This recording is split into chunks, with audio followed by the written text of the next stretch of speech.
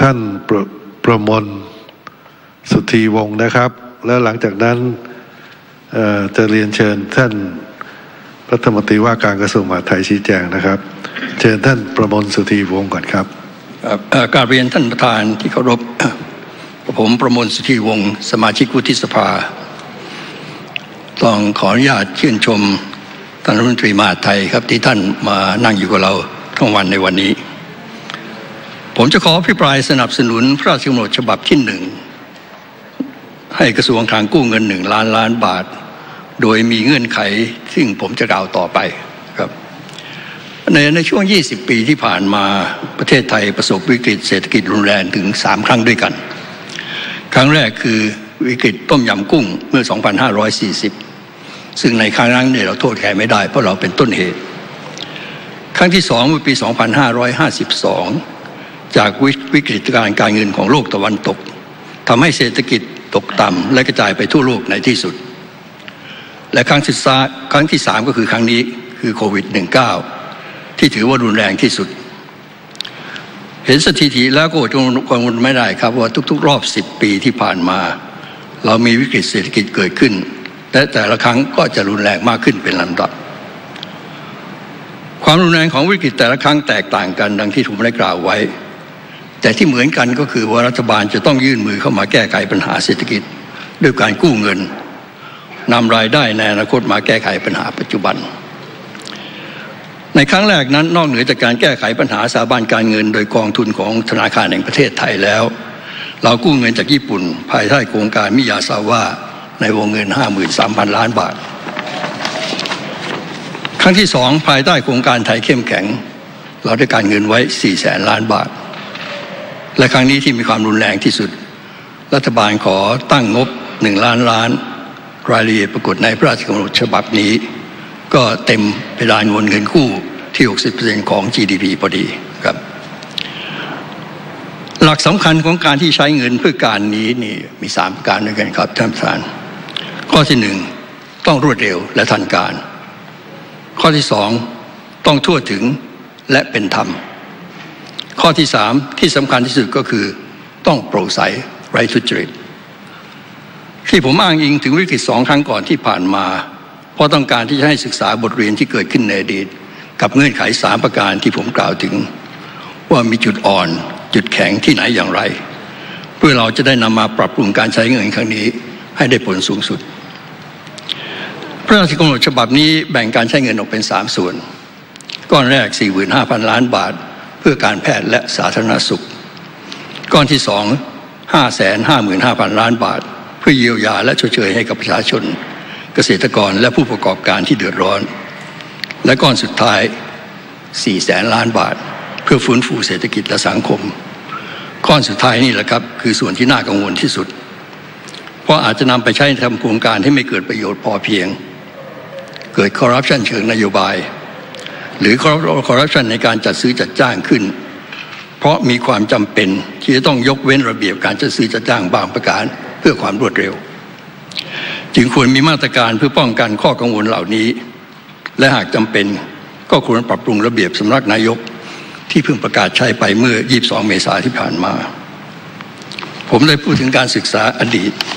เพื่อปรับปรุงปัจจุบัน จุดแข็งของโครงการมิยาสวาและโครงการไทยเข้มแข็ง คือการเปิดเผยข้อมูลให้ประชาชนติดตามการใช้เงินได้ โดยการจัดทำเว็บไซต์เว็บไซต์เฉพาะกิจ โดยทุกโครงการทุกหน่วยงานต้องต้องบันทึกข้อมูลโครงการและการใช้จ่ายโดยละเอียด พร้อมต้องมีการปรับปรุงข้อมูลให้ถูกต้องและทันต่อการสำหรับปัจจุบันตัวอย่างที่ดีธนาคารแห่งประเทศไทยกำลังจะเปิดเว็บไซต์ ภายใต้พระราชกำหนดการรักษาเสถียรภาพระบบการเงิน และความมั่นคงมั่นคงทางเศรษฐกิจของประเทศ ที่กำลังจะผ่านความเห็นชอบของสภาในครั้งนี้ด้วย ผมต้องขอขอบคุณท่านผู้ว่าการธนาคารแห่งประเทศไทยครับ ที่รับข้อเสนอนี้ไป แต่จุดอ่อนของทั้งสองโครงการ คือมีการใช้เงินที่ไม่คุ้มประโยชน์ ไม่ทั่วถึงและไม่เท่าเทียม มีความล่าช้า เพราะระบบราชการ และมีการทุจริตที่แพร่หลายที่ปรากฏหลักฐานชัดเจน และมีการลงโทษไปแล้วหลายกรณี ข้อเสนอที่ผมมีเพื่อสนับสนุนพระราชกำหนดฉบับนี้สรุปได้ดังนี้ครับ ประการแรกให้มีการกระจายงบประมาณอย่างเหมาะสม ทั่วถึงเป็นธรรม และเป็นที่ยอมรับของสังคม โดยกอให้มีคณะกรรมการกลั่นกรองโครงการ และคณะกรรมการกำกับดูแลการจัดการและการเบิกจ่ายเงิน โดยมืออาชีพ เป็นที่ยอมรับของทุกฝ่ายในสังคม ถึงความสามารถ และความซื่อสัตย์สุจริต โดยแยกแต่ละคณะ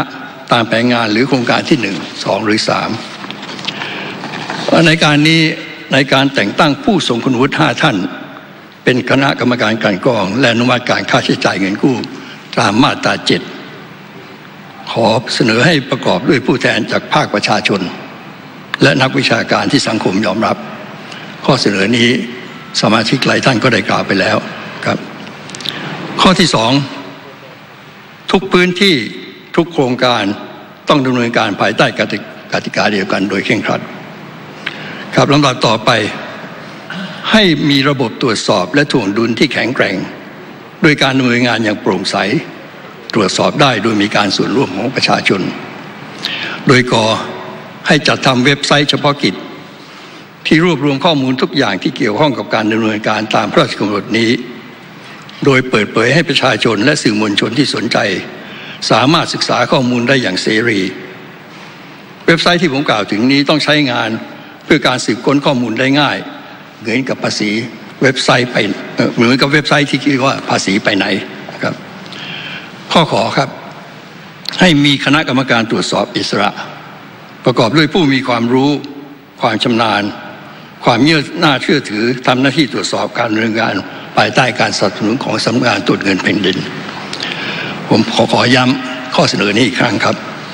ให้มีคณะกรรมการตรวจสอบอิสระ ประกอบด้วยผู้มีความรู้ ความชำนาญและความน่าเชื่อถือทำหน้าที่ตรวจสอบการดำเนินงานภายใต้การสนับสนุนของสำนักงานตรวจเงินแผ่นดิน วัตถุประสงค์หลักของคณะกรรมการชุดนี้คือการทำงานในเชิงรุก เพื่อป้องปรามและป้องกันการทุจริตที่อาจจะเกิดขึ้นจากโครงการต่างๆ ไม่รอให้มีการทุจริตเกิดขึ้นก่อน แล้วไปตามจับในภายหลัง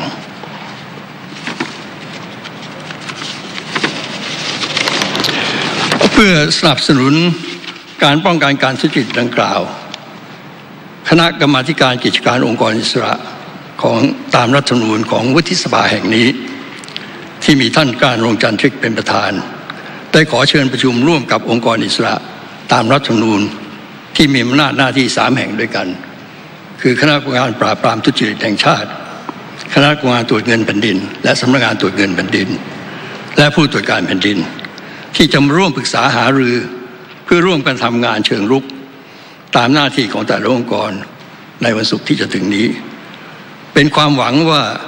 จะช่วยกันร่วมกันทำงานทำให้การใช้เงินครั้งนี้ครบถ้วนสมบูรณ์